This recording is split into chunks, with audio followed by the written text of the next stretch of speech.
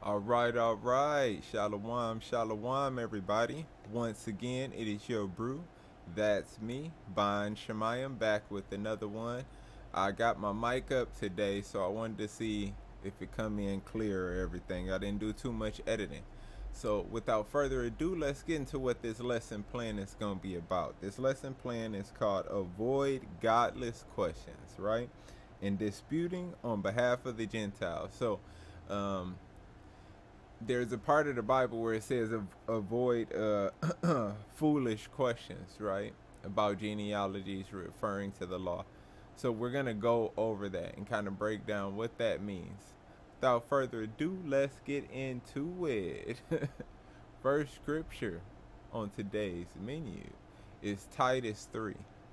Okay? So Titus 3 says, But avoid foolish questions right? A search or questioning. In genealogies, right? The making of pedigree, a genealogy. In contentions, strife. In striving, a fight. You know, physically fighting about the law, right? For they are unprofitable in vain. A man that is a heretic after the first and second admon, uh, admonition, right? Reject right? So let's go into that. Heretics. A man uh, causing division is pretty much saying a man who's not a believer.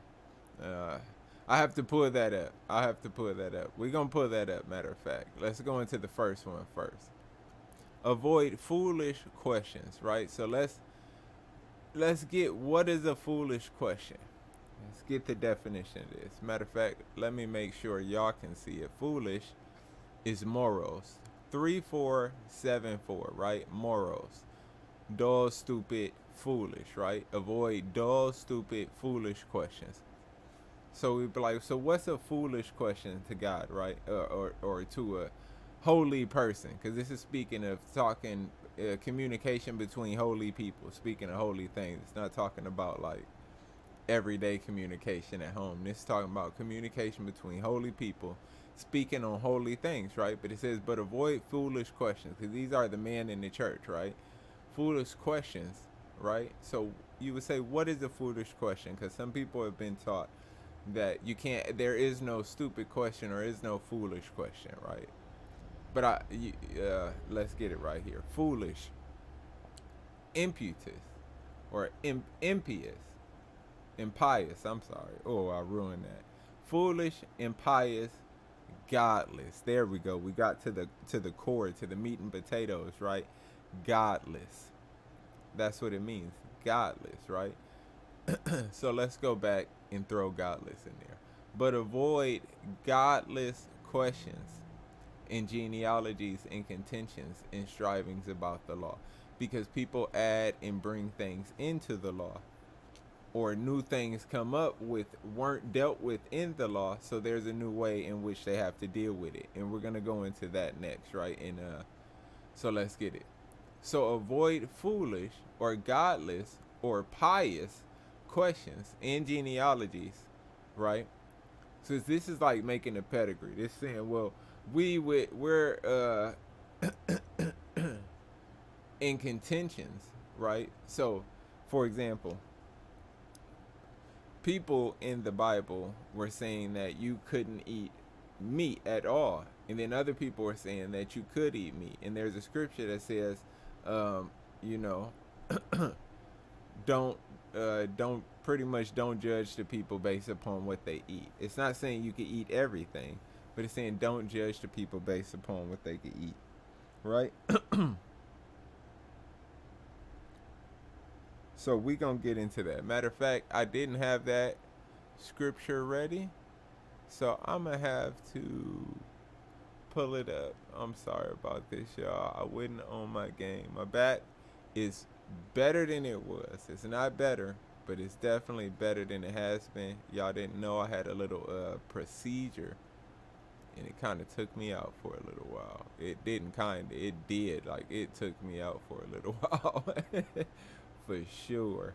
But I'm back up, able to make videos. So praise the Most High God for that. And this one is actually a really good one.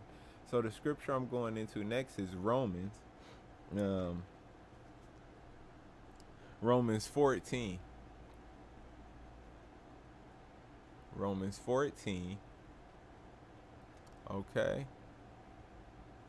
1 through 4, because that's what I was mentioning just a moment ago. Him that is weak in the faith, receive ye, right? So receive those who don't have as much faith or as you do or understanding. That means don't just cut them off and not deal with them, right? Receive ye, right? They don't have as much faith. But not to doubtful disputations, right? Not to uh, reasonings to bring forth judgment, doubtful disputation.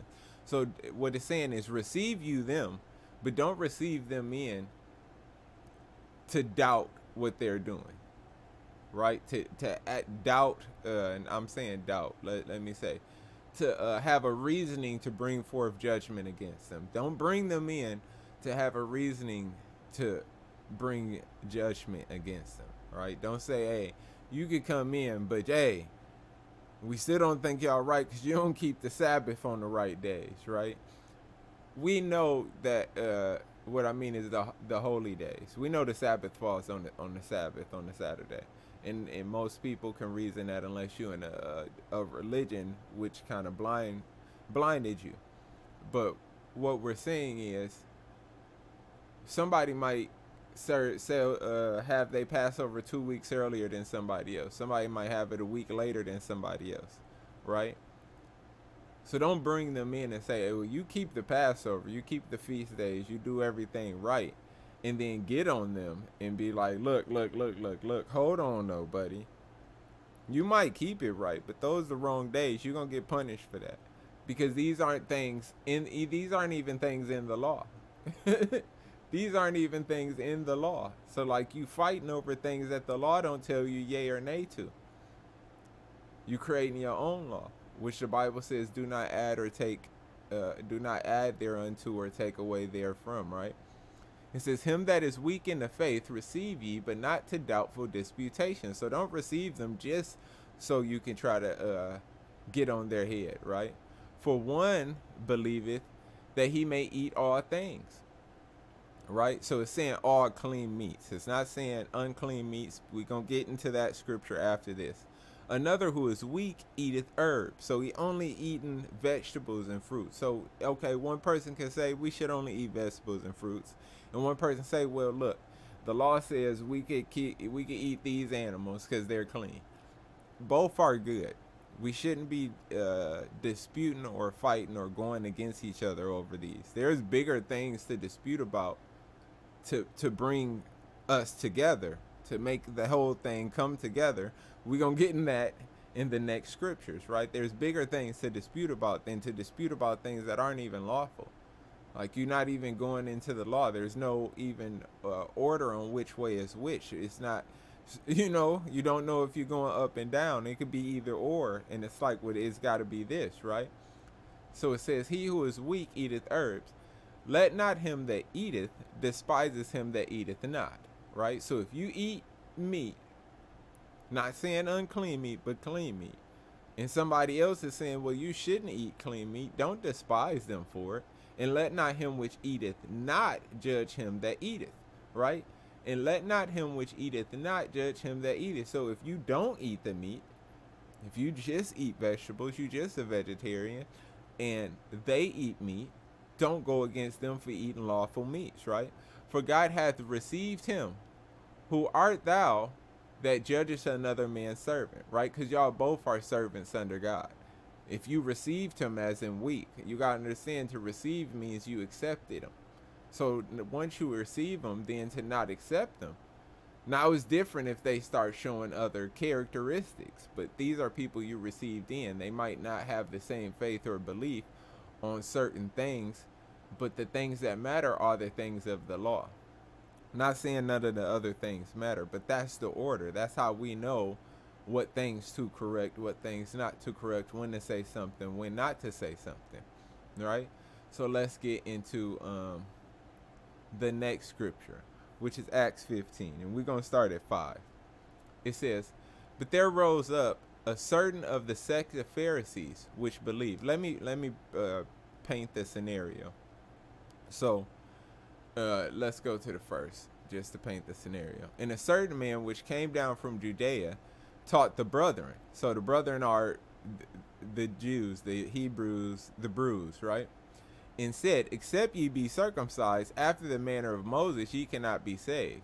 When therefore Paul and Barnabas had no small dissension and disputation with them, they determined that Paul and Barnabas and certain other of them should go up to Jerusalem unto the apostles and elders about this question. Right, so it says a certain. So these are uh, the brothers, the brethren of the church, right? So this is what I say that Acts breaks down two sects of Gentiles. This is what they would use to talk about two sects of Gentiles. But a Gentile is a Gentile, no matter what they try to say, because on one tongue they would listen to me, hear me closely. A Gentile is a Gentile, no matter what they try to say. On one tongue, on one breath, they would say Pastor Doel's a Gentile, because his father was a Gentile. Right? But then on the second breath, they're saying these guys weren't Gentiles because they had part of Judea in them, because they were part of the brethren. No, they went out to all the areas and pulled people forth. All these people were actually Gentiles. We try to separate what Gentiles were. They were they were regular Jews, but they were Gentiles because they didn't follow. No, Jews is not a religion. It's a it, it it is who you are by blood. It's not a religion. A Gentile is a person that is not of that nation, outside of the nation. Matter of fact, let's get it. Gentiles, a race, a nation, the people, a, a people, the nations, or plural, the nations, as distinct from Israel. So a separate people. So we could get that first, right? So let's get it. And a certain man came down from Judea, taught the brethren, right? So he taught the brethren, and these people were entering into the brotherhood, right? And said, Except ye be circumcised after the manner of Moses. So unless you got circumcised and you keeping all the commandments, you cannot be saved. When therefore Paul and Barnabas had saw no small dissension, right? In disputation with them, they determined that Paul and Barnabas and certain others of them should go up to Jerusalem. So they like, y'all should go up to Jerusalem and figure this out unto the apostles and the elders about this question. And being brought on their way by the church, they passed through Phoenice in Samaria, declaring the conversation of the Gentiles, right? And they caused great joy unto all brethren. And when they were come to Jerusalem, they were received of the church and of the apostles and elders, and they declared all things that God had done with them. But there rose up a certain of the sect of Pharisees, right? Which believed so they believed in our Savior, saying that it was needful to circumcise them and to commend and to command them to keep the laws of Moses. So it's saying they need to these people that's being brought in, they need to now be circumcised and keep all the laws of Moses. They need to keep the laws of Moses, all the laws, right? And the apostle and elders came together for to consider this matter. So now all the apostles and the elders, all these men came together to consider this matter. And when there had been much disputing, right?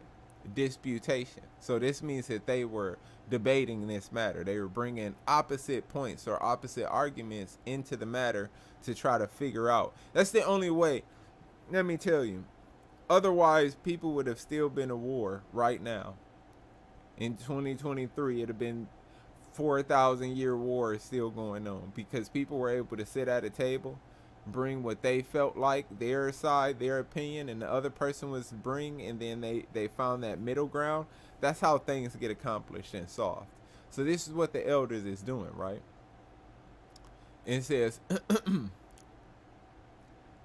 and when there had been much disputing, so it's been much disputing over this matter, Peter rose up and said unto them, right? So after everybody going, everybody going, now Peter rising up to say something to everybody. Peter rose up and said unto them, Man, and brethren, ye know how that a good while ago God made a choice among us, that the Gentiles by my mouth should hear the word of the gospel and believe. Because remember, Peter received the vision, and then he woke up and dealt with the three Gentiles and went to go deal with Cornelius, right? And God, which knoweth the hearts, bear them witness, right? So it's like God is dealing with these people, giving them the Holy Ghost, right? So this answers that question. These people were receiving the Holy Ghost, even as he did unto us, and put no difference between us and them, purifying their hearts by faith, right? So he hadn't separated us in this truth. In what we're doing now, we weren't they weren't separated, right? Now therefore why tempt ye God? So he said if God gave them the spirit, if God brought them to us to learn from us, if brought God thought that great of them to make them partakers in what he allowed us to know through the Savior, through Yeshua, Wamasiach, right? Why tempt God? Why then say, no, no, no, they need to do this when God allowed them to be brought in without that, right?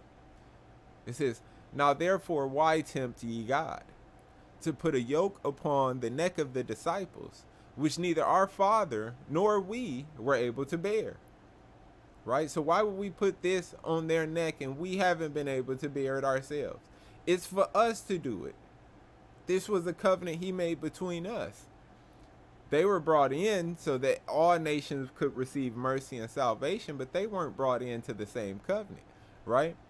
It says, But we believe that through grace, through the grace of our Lord, Yeshua Wamasiach, we shall be saved, right? Even as they, right? So we believe that no matter what we did, the things that would cause us to no longer make it to the kingdom, that because our Savior came, we can now be saved, right? We can make it to that kingdom. then all of the multitudes kept silence and gave an audience to Barnabas and Paul, right? Because remember, now they gave an audience to Barnabas and Paul. Remember, Paul was the head of the Gentiles. There was a separation. Eventually, Paul charged Peter over how Peter treated the Gentiles different, and there was a separation, right? So Paul and Barnabas, Paul was blinded by Christ and then sent out to go minister to the Gentiles. Okay. So now they're giving the audience to Barnabas and Paul. And this is what I was saying. This is how we discuss matters. This is how we came up with matters. And this is how service was.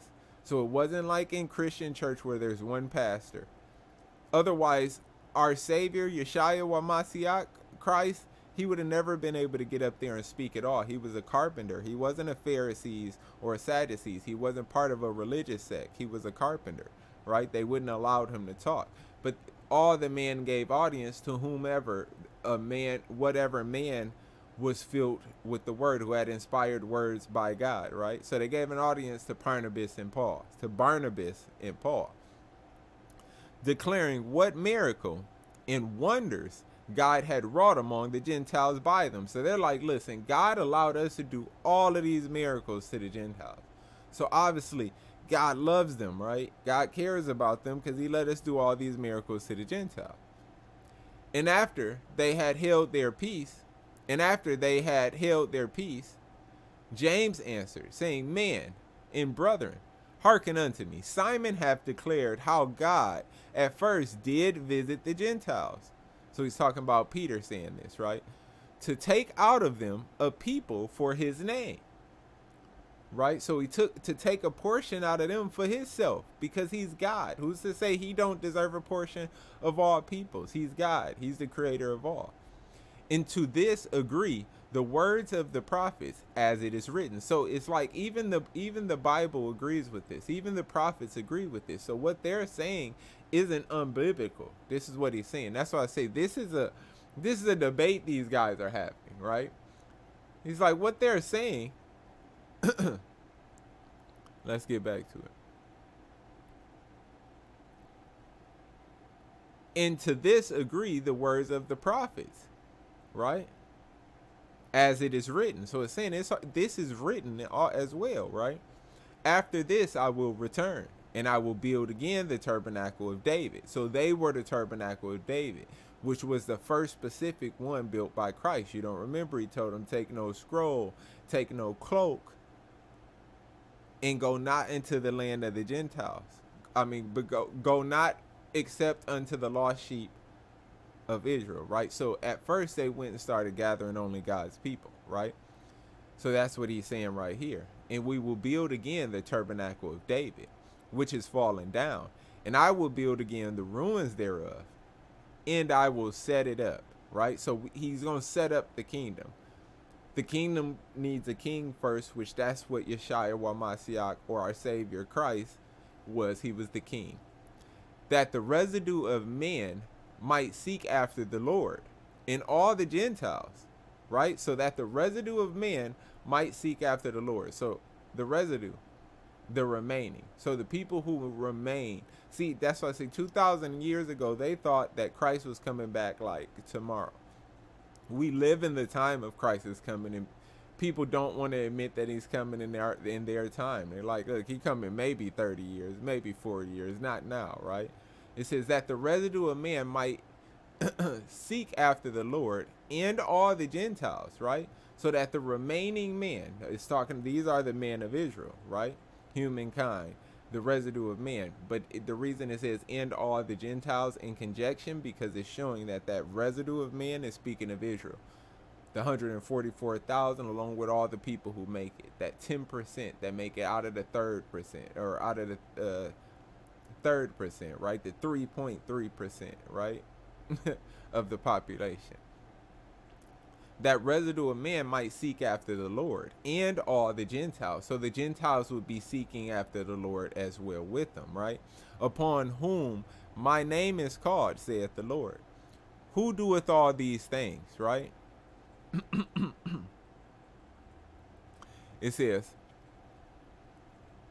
known unto God are all his works from the beginning of the world, right?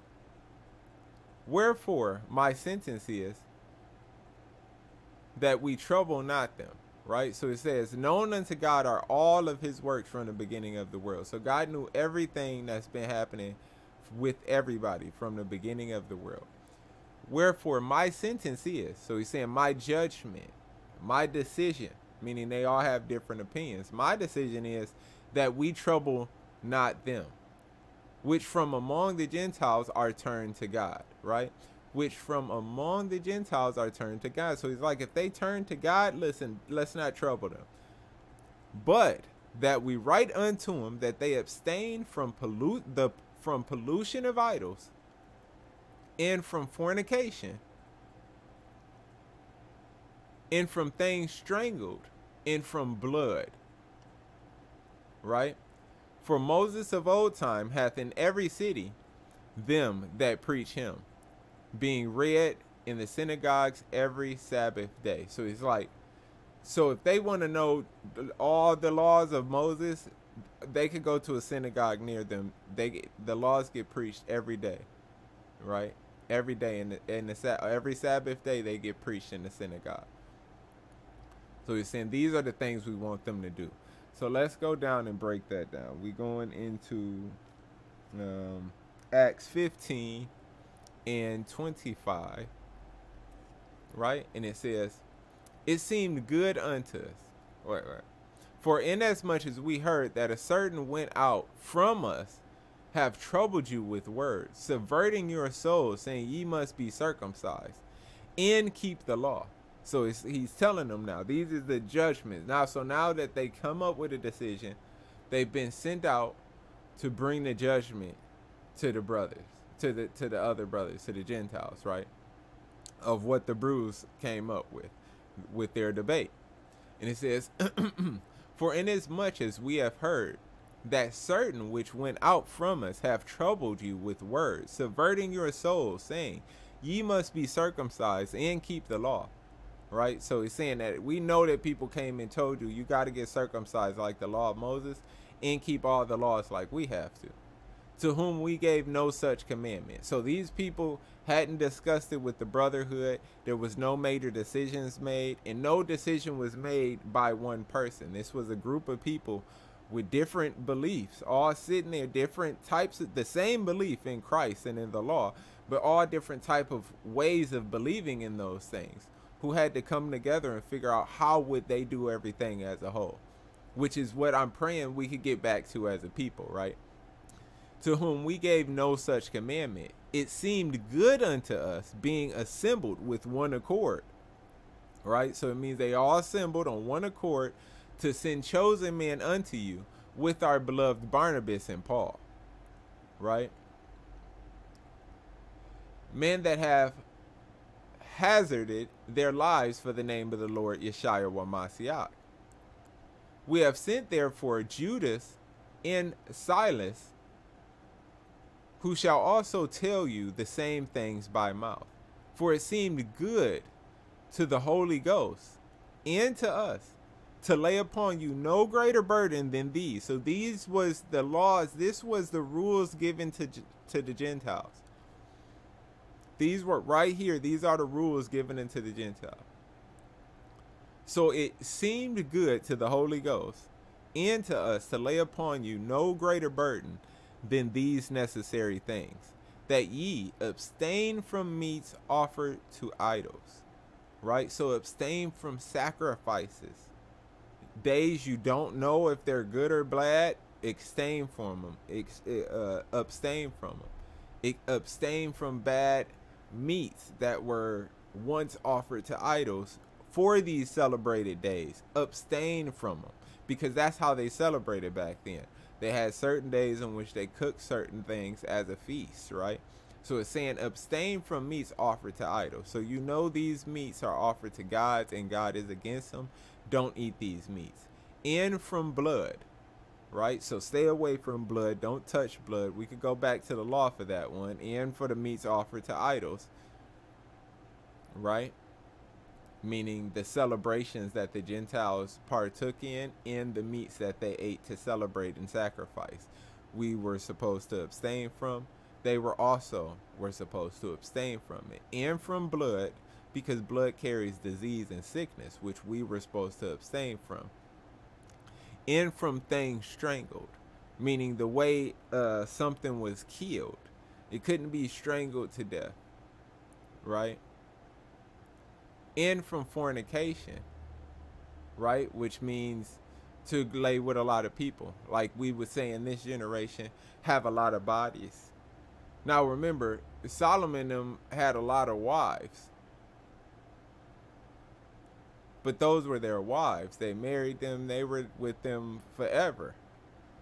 See, we live in a generation of fornication where we make a wife and then do away with the wife, even though Christ said, uh, what God put together, let no man separate, right? And from fornication, from which, if ye keep yourselves, ye shall do well.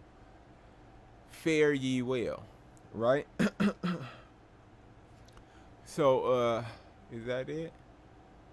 I actually went down further than I was going to go to. I was actually going to stop right here. Men that have hazarded their lives for the name of our Lord. But I went down further than what I was going to go to. But that's it for this lesson plan. Like I said, the day's lesson plan is called Avoid Godless, godless Questions. So we went over in that first part in Titus where it says, But avoid foolish questions and genealogies and contentions striving about the law. So I went into the second part of Acts just to go a synopsis of all of this. I went into the second to Acts 15 to show how nothing was done without a logical debate and sitting there to bring in forth facts and information to the table to figure out what the truth was. That's how God put it in the hearts of the men to do it, right?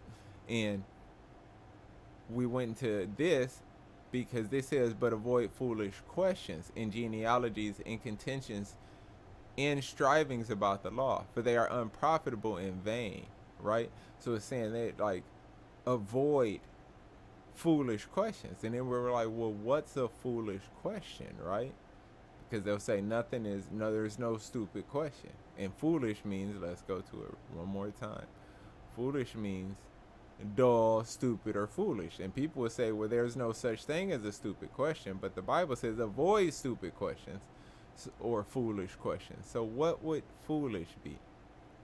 Foolish,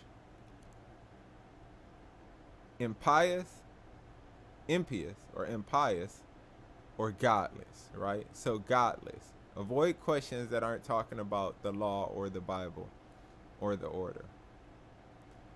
Now I know, like I'm not talking about. I'm talking about if you're dealing with the community, the church, the brews and stuff like that. If this is just like a brew that's your bro or your friend, y'all can talk about whatever y'all talk about. If it's your wife or whatever, y'all can talk about whatever y'all talk about. Just make sure you keep God on the on the front of the of the brain, right? so that's what we first went into, right? And then we went into Romans because it said about the eating herbs to show that they were they were disputing about this, but this is unlawful.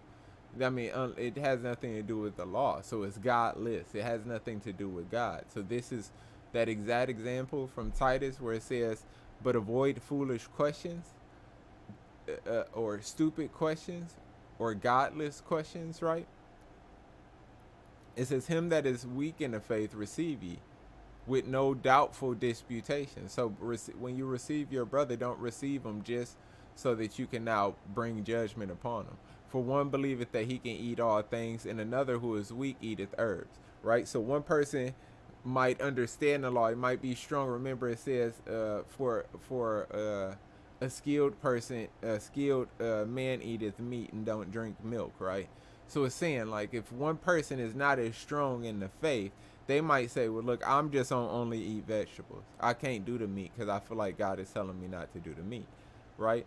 But one that one that's stronger in the faith, he eateth all things, right? And one that's weaker in the faith, he only gonna eat the herbs. But don't despise each other.